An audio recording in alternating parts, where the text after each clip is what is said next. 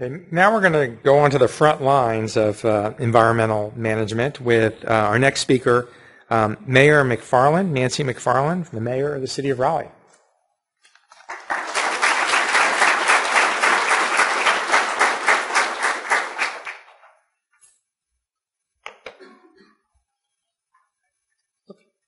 Okay.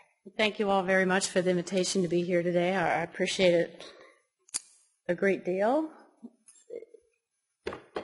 To say that there is a competition for capital and local governments is kind of an understatement.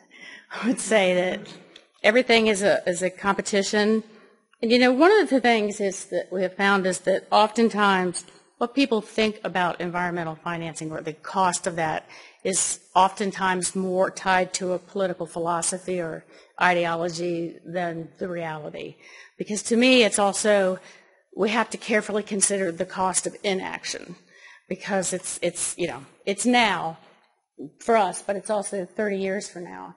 And I have to say, I loved your, your comment about the, the past is not, not coming back. My grandmother used to always say, used is gone and dead.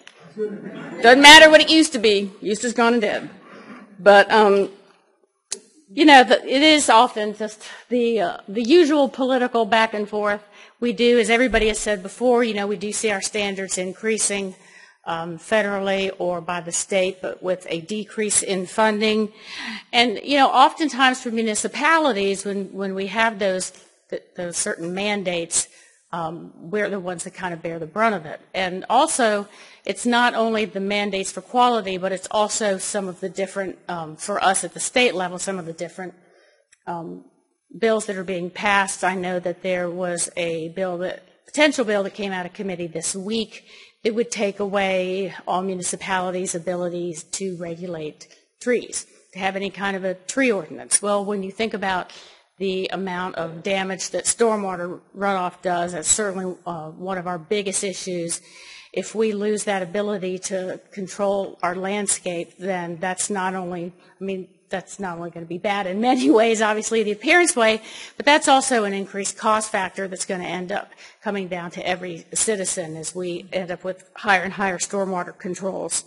Um, the other things I would say we talk about tools to jointly fund, you know, environmental issues do not follow municipal boundaries. They don't follow county boundaries. They don't follow state boundaries. And so it's really important to um, have the ability for us to work across those boundaries. You know, we've certainly we've heard about the Falls Lake rules and a lot of things that we've done in tandem, but, uh, you know, it's, it's more than that. And I appreciate all of the partners that we've certainly had in the state and uh, in our area, we've had we've had great relationships with them, and I think it's going to be even more important going forward. I know that we had a speaker earlier that talked about the public-private partnerships. I think we're going to see uh, more of that certainly in our own world too. Um, they do, yeah, we do need to be innovative, and we are certainly looking at are there more ways to really engage the citizen in those um, in their ability to capitalize on resource savings. I mean, I know I, I put a big old 8,000 gallon um, cistern at my office and capture all the water and use all of that for irrigation, but you know, I'm not really feeling the love, Dan. As Dan Howes, our assistant city manager, he is the one that is really in the thick of the weeds and, and really is, is great at some of the new and innovative programs that we have.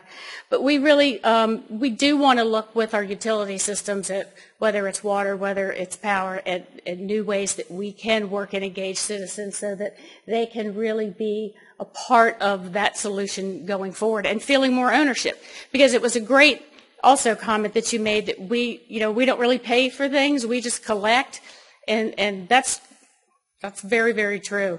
And I think that when people feel like they are engaged and they can have some ownership, that you certainly get a much better buy-in. So I am going to leave this to the real experts. Thank you.